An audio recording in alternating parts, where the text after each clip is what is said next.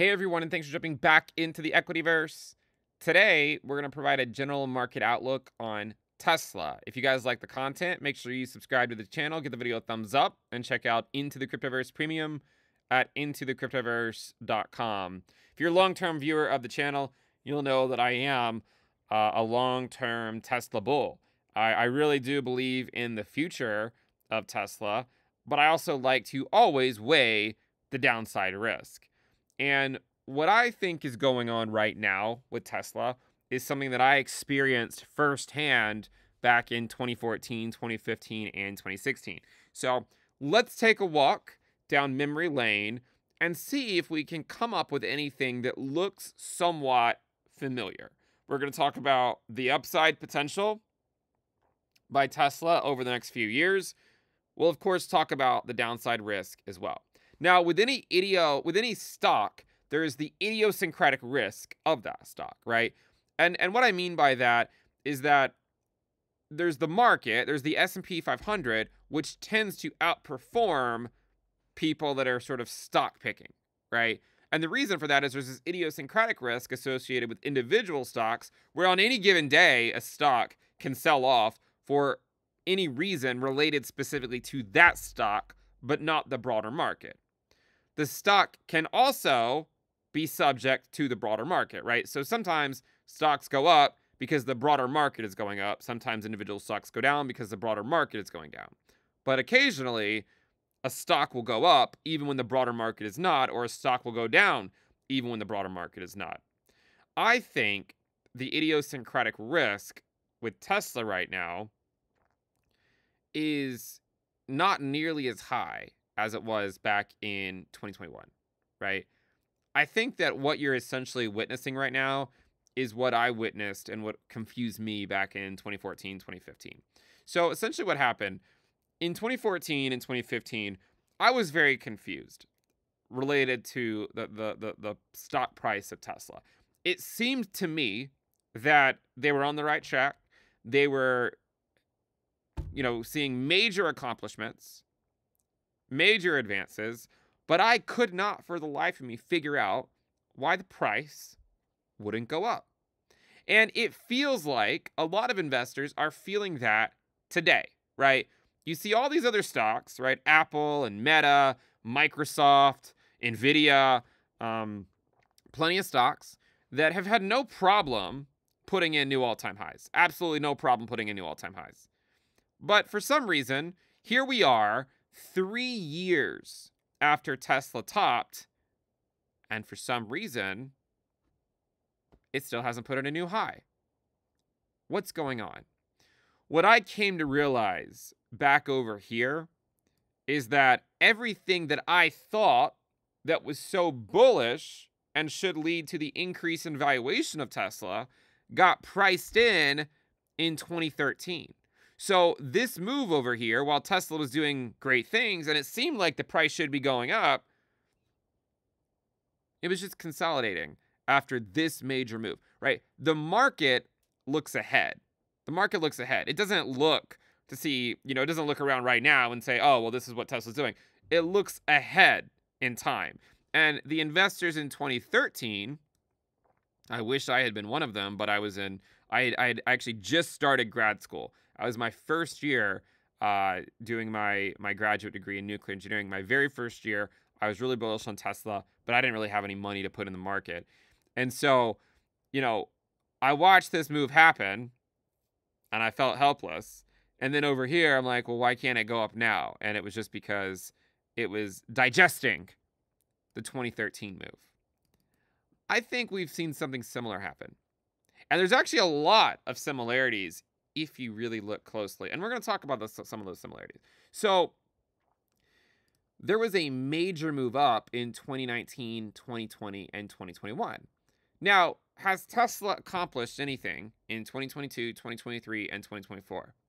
Absolutely, right? I mean, it seems like they've come a long way over the last three years. Now, of course, there's going to be haters, right? Of course, there's going to be haters that say say all sorts of things. But the reality is, is Tesla, you know, they've accomplished a lot. Um, I do think they're more than a car company. They've accomplished a lot. And it has not really worked out well for people who fade Tesla over a very long period of time, right? It just has not worked out for those people. Yes, there are times when the market goes down, and I was fortunate to be on the right side of it when it went down over here. But my biggest mistake was not turning bullish on it right here. So I turned bearish on Tesla in 2022. My mistake was I didn't turn bullish on it in early 2023. So what I said was, and I and I did videos on this, and of course I mentioned it in ITC Premium, was that this was sort of a second opportunity, right? A second opportunity if you miss the low at 100, which I did. I missed the low at 100, but I sure as hell didn't miss this low at 140. And so what I think is happening now is that there's a lot of there's been a lot of great news for Tesla, but the reason it hasn't gone to new all-time highs is because it has been digesting this move right here. That doesn't mean that it can't go to new all-time highs. Right? In fact, if you look at what happened by Tesla in sort of this cycle over here and you take sort of a fib retracement, you can see that from the top here to the capitulation low, Tesla rallied up to the 1.618 fib by June 2017. How many comparison videos have we made for crypto compared to 2016, 2017? Right? Think about Ethereum. Think about that video I just did on Ethereum, the comparisons to 2016. Think about how similar the dollar, the rally by the dollar right now compares to 2016, and the rally by the long end of the yield curve compares to 2016. It's all very familiar. It all it's like it's like a carbon copy almost. Everything is almost the same. The dollar's rallying, the long end of the yield curve is rallying. Um, there's even some similarities in, in politics as well. Uh, and I look, I, I like to stay away from from politics, but look, there there are a lot of similarities between, you know, this and this. And what's interesting is the 1.618 just so happens to be $600. Now, I would go as far, and, the, and we're going to talk about the upside potential. We're also going to talk about that on the set risk. Full disclosure, I have a position in Tesla. I'm long term bullish on it. I'm not really looking for major drops, although I would happily buy, you know, buy if if we do get drops. But I would say that is the, you know, sort of the upside potential is if it follows early 2017. Now, what's interesting is you can actually see a lot of similarities. This capitulation wick here, a rally to a lower high, and then a bleed, and then a major rally up. Now, look here. You get your capitulation wick, a rally to a lower high, and then you get this bleed here, and then arguably we're in this leg right there, right? That's arguably where Tesla is right now. And I've been talking about this for a while, but I just wanted to do an update, right? That's arguably where Tesla is. Now, right now, Tesla's at 213. The earnings report just came out, and it, I, I believe Tesla, I, I, I didn't check it, you know, within the last couple of hours, but the last time I looked, it was up like 10, 12% or something after hours following the earnings report. So if Tesla can ride that momentum, then it could potentially put in new all time highs in 2025. Maybe even earlier than that, but you know, by 2025. That top there was about halfway through the year. The actual new highs occurred you know, like April of 2017, right? So I wonder if that's what's happening right now, if Tesla is repeating this. Now, here's something that as an investor of Tesla, I have to come to terms with, right? The infrastructure for electric vehicles still leaves a lot to be desired. I know because I own an electric vehicle, okay? It leaves a lot to be desired. I do think it's only going to get better, though. I wonder if Tesla will eventually check back in with this trend line before a major move higher, right? Now, I'm not talking about a move to $400, $500, right? I mean, you know, that would just be getting Tesla basically back up to its all-time high, which plenty of other stocks have already been able to do. I don't think anyone here is going to be, you know, dunking on on Tesla haters if Tesla goes back up to $400, right? I mean, so what? You know, Meta was able to take out its all-time high long ago. So was Microsoft, so was Apple, right? So that's not really dunk worthy. What has to happen for a major rally like that, right? I'm not talking about a, 100% rally. I'm talking about a 1000% rally. Is that going to happen soon? Well, as much as I would like it to happen soon, and as much as I could get on board with Tesla going to new all time highs, it's hard to see it going up a thousand percent within the next couple of years. But you know what? I, I could see a scenario where whenever it tags this trend line, could be the point at which it begins another major rally, right? Like that and that. So whenever that happens. Now, what's interesting, first of all, we have to admit something. No, no one here can possibly predict when Tesla, if and when it will tag this trend line. First of all, this is a trend line. They're dubious at best. Tesla probably doesn't care about this trend line. I am just putting it out there because it it's visually appealing to look at, right? But the reality is, is no one knows. But what I would say is that two things. First of all, if this cycle repeats, Tesla could put in new all-time highs before tagging that trend line. Second of all, if you look at this trend line, Tesla did not tag the trend line until the trend line was above the capitulation low. You see that there? That capitulation low looks a lot similar to that capitulation low. In fact, the when it tagged the trend line in May of 2019, it basically retested the higher low. And that tag of the trend line occurred about one year later after it, it passed the capitulation low. So one year after this trend line will pass the capitulation low would put it sort of, you know, near the end of 2027. Near the end of 2027, which is interesting because the end of 2027, if you then draw the line across, that, that has you retesting that low, which is what happened over here. Now, is that possible that, you know, that, that Tesla could do something like that? And obviously there's there's, you know, there's always recession talk, but you have to remember one thing about recession talk, right? Yes, the, the, the we will have recessions, but sometimes when you get recessions, the stock just puts in a higher low. You know, when I was talking about Meta on um you know, I talked about Meta a lot on on ITC Premium, and I was actually really, really bullish on it when it went below 100. And what I said back then was that this is a great opportunity to pick up Meta because it just seems insane that it was trading at less than $100 when it's, you know, with, with the, the cash flow that it had. And now it's gone to new all time highs. So, yes, at some point there will be a pullback and a recession, but Meta's probably just going to put in a higher low, right? I would honestly struggle to see it ever taking out that low, at least in any reasonable investing time frame for for you know for investors, right? So there's always a possibility that Tesla could do something similar, right? Where you know, yes, there's eventually a slowdown in the economy, but that doesn't necessarily mean it has to take out the prior low. It could, but it doesn't have to. So I would say that the more likely scenario is that it eventually tags this trend line, but that could be years from now. And if the last cycle is any indication, it could go to new all time highs before that happens. Now, we have to talk about the other side of it, right? There is the reality of, you know, you, you have an inverted yield curve, and we've had an inverted yield curve for a long time, right? And normally they precede recessions, right? Normally that's what happens. So it's not like you can look at the chart and say that it has to repeat itself exactly, because in 2016, you know, there there wasn't an inverted yield curve like there is today.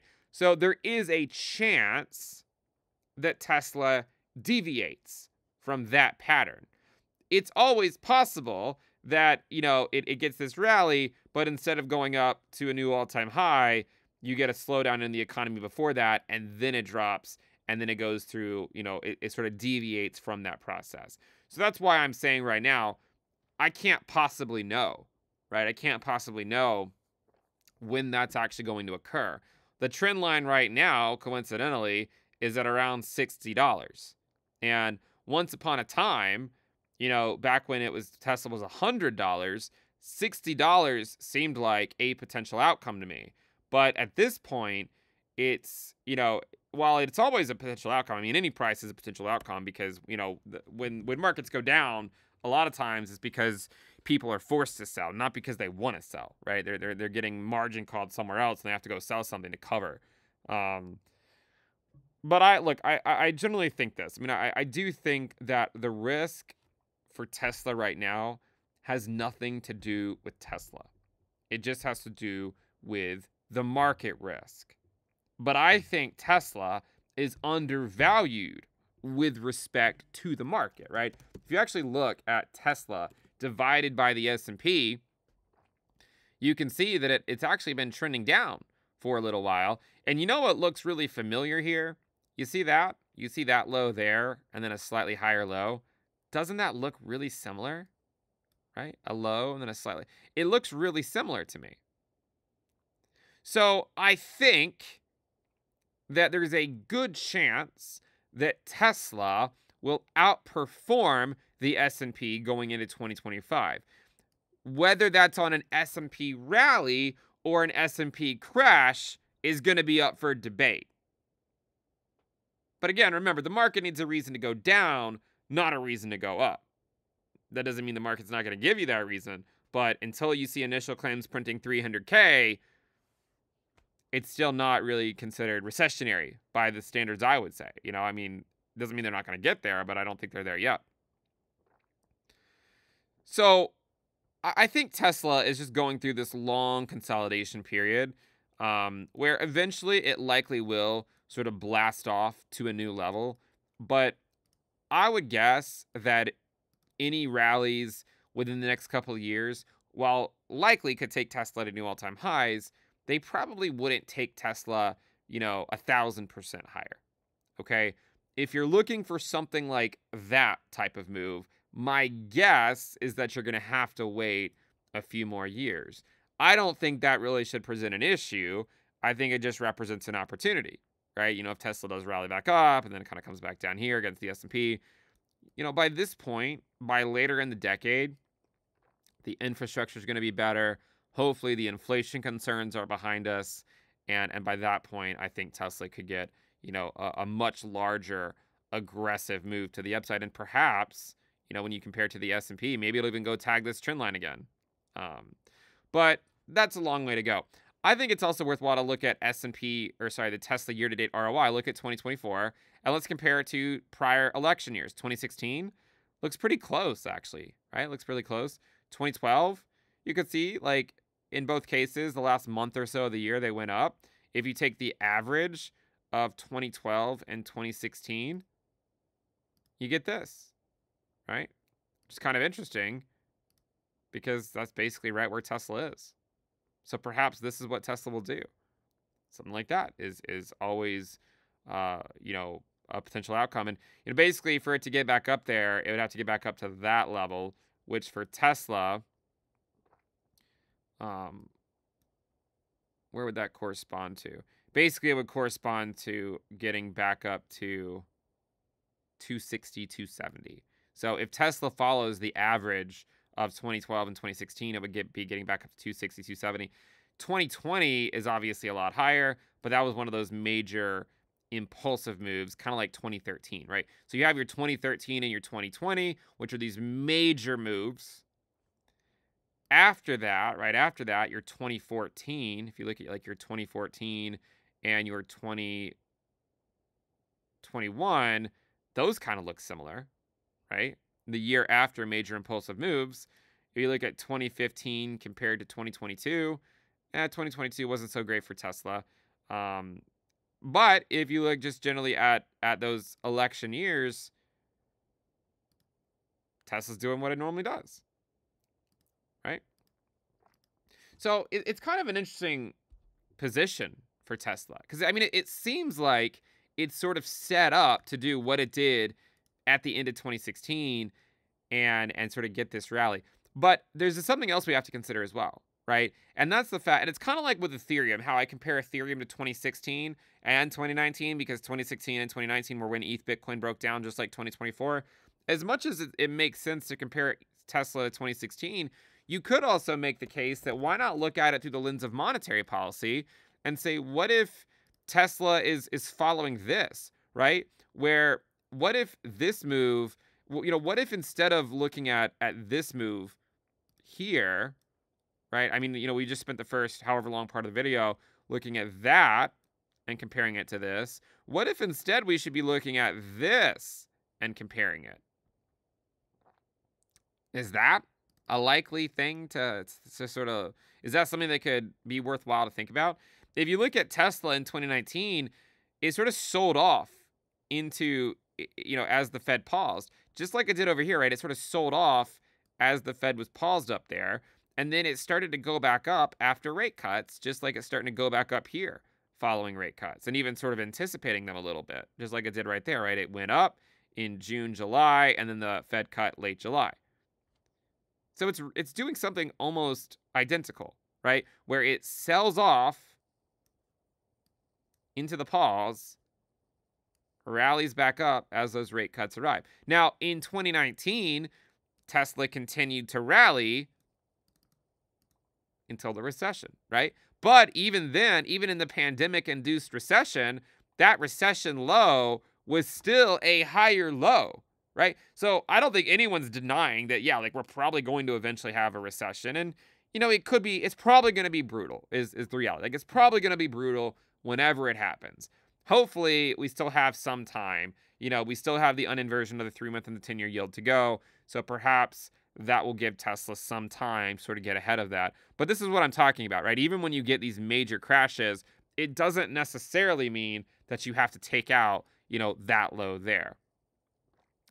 So I, I, I think that's what's kind of happening with Tesla right now is that those rate cuts are coming in, right? The rate cuts are coming in, but it's not obvious that to the market that there's a recession right now. So if there's not a recession right now, just yet, that's the reason why the dollar is rallying, right? That's the reason why the long end of the yield curve has rallied so much, is because the Fed's cutting, but maybe they shouldn't be, is kind of what the market is thinking, right? You know, is growth going to start moving quickly again, causing another wave of inflation? But for Tesla, it's a good thing. You know, rate cuts are a good thing. You know, if you go out and buy a car, um, obviously a lot of you know a lot of people buying a car are going to be subject to you know to the rate that they can get right they're going to want to get a good rate on their car loan and so rate cuts are, are a good thing for companies like tesla and you can see that it went up after those rate cuts over there and it looks like it's starting to do something very similar. So yes at some point in the future during the rate cutting cycle there's at least a 50% chance there's a landing right? And i don't know when it's going to happen. You don't know when it's going to happen. But I would say whenever it does happen, it's probably going to be a good opportunity. I can't concern myself, you know, with exactly when it's going to happen. All I can do is say this I missed the low there. I made sure to make up for my mistake there. I've picked up some since then, too. I'm going to stay bullish on it. If we get a big drop, because of a recession, I think it's just going to be an opportunity. At some point in the future, probably many, many years from now, Tesla will likely tag that trend line again. And if and when it does, it's likely going to be a great opportunity to get into Tesla. I don't know when it's going to be. I wish I had a crystal ball and I wish I could tell you. All I know is I have a position in Tesla. I hope for the best. You know, I hope for the best that it, it'll continue to rally. If it doesn't, and and you know, if the long end of the yield curve keeps going up and it starts to really weigh on the S&P, like some of the other stocks, and that starts going down, that could drag Tesla down with it, right? So you could have a scenario where Tesla's outperforming the S&P, but it's still not reaching its full potential because the S&P, the whole market as a whole, is dragging Tesla down. That always is a possibility. So I would just look at it like that, right? You know, come up with like a DCA strategy. Um, and I don't even know if I can rotate that, but um, come up with a DCA strategy and and say, you know what? Let's hope for the best. Um, at some point, it'll tag this trend line, and when it does, that'll probably be a great opportunity before another major impulsive move up. And that's the way I'm going to play it. All right, that's the way I'm going to play it. Um, you know, today Tesla's at 213. I hope I can look back at this video in a decade and Tesla's a lot higher than it is today. I hope I can. You know, my guess is what's going to happen is this consolidation period will just continue with potentially higher highs. You know, potentially a new all-time high. There is a chance of a new low. Um, but you know, things would have to get pretty bad to take out that low there. I mean, they'd have to get really, really bad. And, you know, if this low here is any indication of what happened to that low there, then it doesn't get taken out, you know?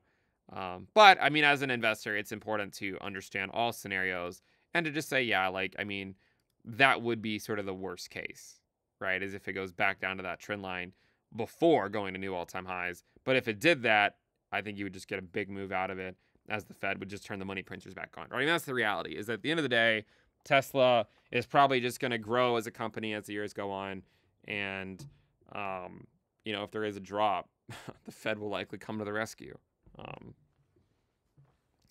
so yeah, those are my views on on Tesla. I'm curious if there's any other interesting charts we could look at uh, just while I have this stuff up. Uh, let's go look at monthly returns really quick for Tesla. Um, so in yeah, I mean, so far in October, it hasn't really been doing that well. Um, but that should change uh, following earnings. You know, after you know after tomorrow, we can see that so far this month it's actually down 18%. Um, so I actually used this opportunity to to pick up a little bit of of Tesla, but a lot of October has actually have been red for Tesla for some reason. It's kind of interesting. You can see October has mostly been red for Tesla. Uh, November tends to be okay, right? The average return in October is only one and a half percent. The average return in November is about ten percent. Um, if if Tesla could go up ten percent, that would get it back up to that 260, 270 from the 230, whatever it's already at, um, following earnings. If we look at quarterly returns for Tesla, um, yeah, I mean the last time, if you look at 2016, it ended up being positive. 2020, it was positive. 2012, it was positive. Let's look at what's the best day to buy Tesla if you're going to DCA it. Friday, which is interesting because normally uh, for the S&P it's it's actually Monday, right? So it's actually really really interesting that for Tesla it's Friday, right? If you if you actually pick up uh, or if you go over here to the S&P, the best day to buy is Monday, and that makes sense because the S&P generally goes up, right? The S&P generally goes up, so you know buying it early in the week tends to be the best. But with Tesla, it's kind of different, right? It's kind of interesting that, and this is not my opinion, guys. This is based on historical results. Um, uh, based on a seven-day moving average. We can we can look at some other ones as well. Let's look at a 14-day. Does it change? till Friday. Let's base it on a 30-day. Still Friday. Uh, on a 50-day, still Friday. Based on a 90-day, still Friday. So basically, based on historical moves, the best day to buy Tesla, the best day to DCA it, is on Fridays. So this is one of those things where like if you if you're just a Tesla bull and you want to blindly DCA it for the next 10 years, the next 5 years, what day do you pick? Well, this data would suggest Friday is the best day. Days since percentage gain. So the last time that the eh, it's taken 272 days since the last time Tesla went up 30%. Right? 272 days. There's plenty of times where it only takes just over 300 days for it to do that. So it's kind of an interesting chart. Or sorry, that's decline, not gain. That's Tesla since 30% decline. Um, so it's been 272 days since it dropped that amount. Days since percentage gain, it's been 506 days since it went up 100%. Um, any other interesting ones to look at? Maybe look look at the Bollinger Bands. Let's go over to the weekly. Yeah, it looks like it's had some moves up here to the top top of these Bollinger Bands recently, um, but nothing too nothing too really that interesting, honestly. Um, if we look at at the RSI of Tesla on the monthly, it's actually still pretty low. It's like 49, so it's still relatively low. What was it in in into 2016? Right, uh, 47. So it's not that much different than what it is right now. What was it in uh, 2019 after the Fed cut? And It went all the way down to, or before the Fed cut, it went all the way down to a monthly RSI of 37, which is actually kind of just where it went back in December of 2022. So, anyways, guys, I've uh, rambled on long enough. Basically, long story short, Tesla in many, many years will likely be, I'm guessing, much higher valued than it is today. In the short term, as long as there's not a downturn in the economy, Tesla should continue to trend, trend higher as I think it's undervalued with respect to the S&P 500.